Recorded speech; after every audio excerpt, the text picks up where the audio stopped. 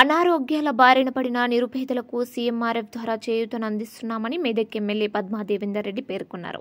MLA camp కార్యాలయంలో నియోజకవర్గంలోని ఎనభై తొమ్మిది మంది లబ్ధిదారులకు సీఎంఆర్ఎఫ్ చెక్కులను అందజేశారు.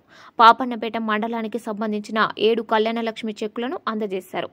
పేదలు అనారోగ్యాల బారిన పడి ప్రైవేటు ఆసుపత్రిలో చికిత్స పొంది సరైన ధృవీకరణ పత్రాలతో దరఖాస్తు చేసుకుంటే ముఖ్యమంత్రి సహాయ నిధి నుండి ఆర్థిక చేయూతను అందిస్తున్నామన్నారు.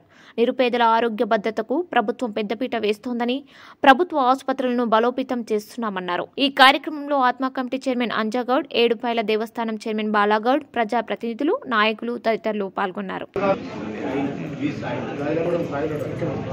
విజయ ఉంది పాటూరు పాతూరు విజయ ఉండదు అమ్మ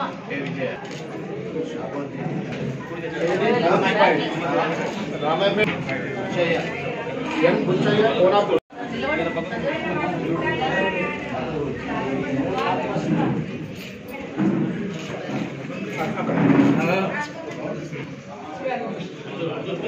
Saya.